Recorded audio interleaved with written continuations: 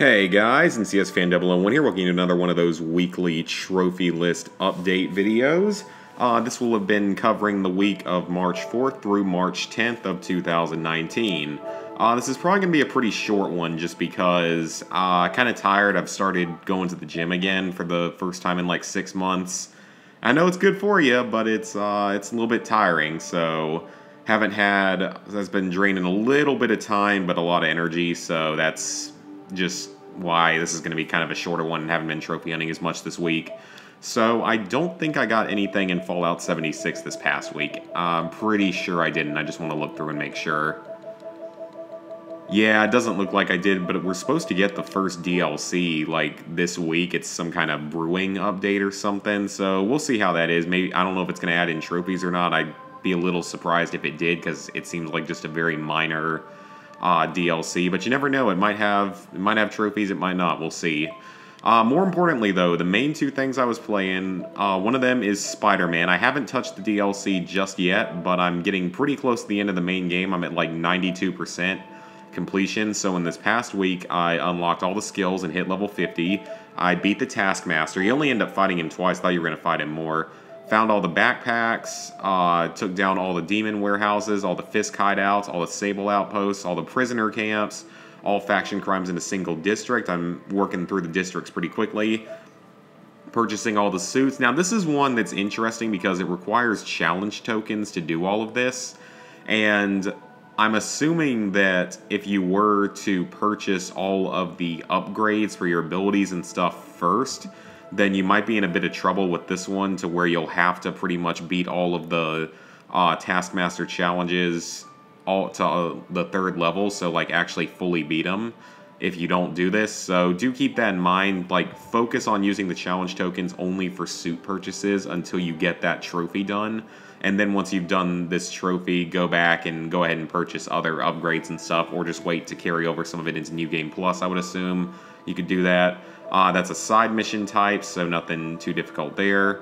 I mean, none of these trophies are really difficult at all. I mean, I'm still doing everything on normal difficulty, and it hasn't been very difficult for the most part.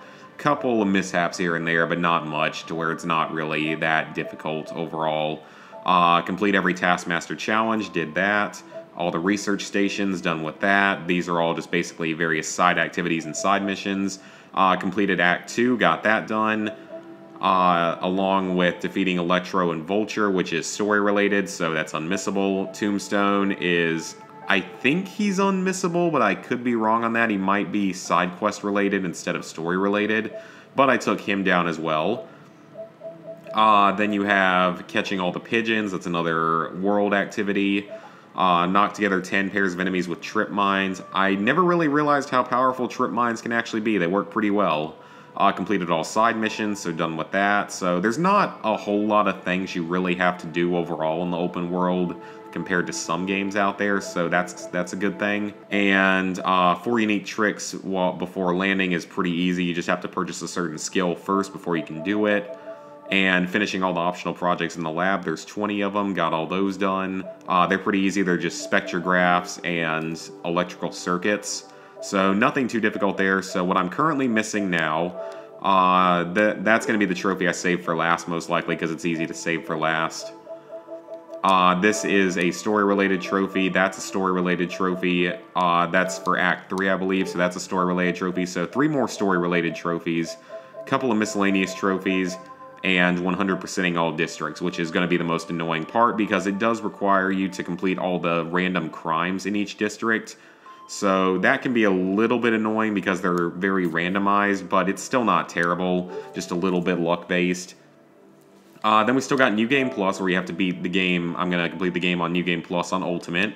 Uh, it's going to be a little bit harder, but not too bad. From what I've heard, the Heist DLC is pretty easy, but the Turf Wars DLC and Silver Lining are a little bit harder, so we'll see how those go.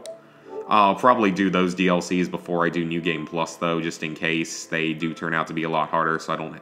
Well, no, the Ultimate playthrough will save to a different save slot, so it's probably going to be okay.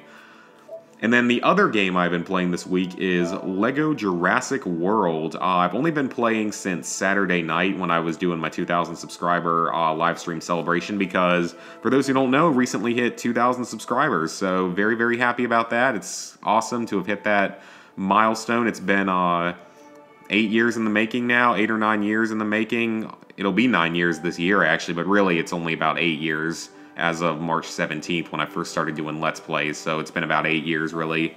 Uh, Lego Jurassic World, this is a pretty typical Lego game. So far, I have completed the story, which gives you quite a few trophies in this one, which gives you, it gives you every trophy through that, so quite a few trophies actually.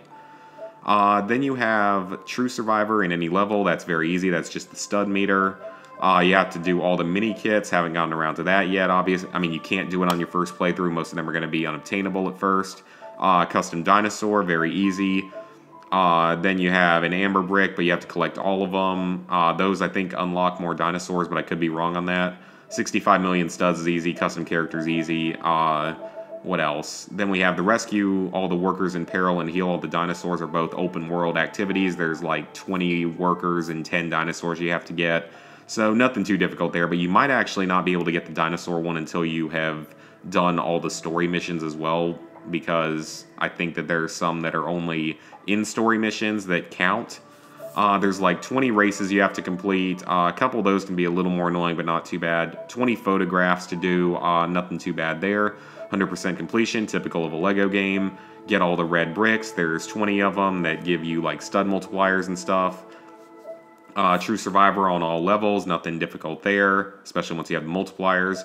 Uh, 50 goons, that is most likely going to come naturally, but it's it's the little tiny green dinosaurs to be more clear. Uh, custom dinosaur in a paddock, I think that one's easy. This one's easy. Uh, that one's easy, though I thought I already did it. I guess I guess I didn't. Uh, maybe it was just the wrong terminal type. Uh, that's pretty easy once you unlock the Raptor. This one's pretty easy as long as you have Dennis Nedry. Uh, then you have to do this is story related. This is story related. So there's there's a lot of story related trophies in this game. Like nearly two thirds of the trophies have some kind of well, no, about sixty percent of the trophies are tied to the story in some way, which is kind of nice. Uh, that one's not too difficult. This one's easy. Uh, this one's easy once you get Mr. DNA, and I think this one's easy, but I don't remember what you do for it, so I'm gonna have to look at the guide for that one.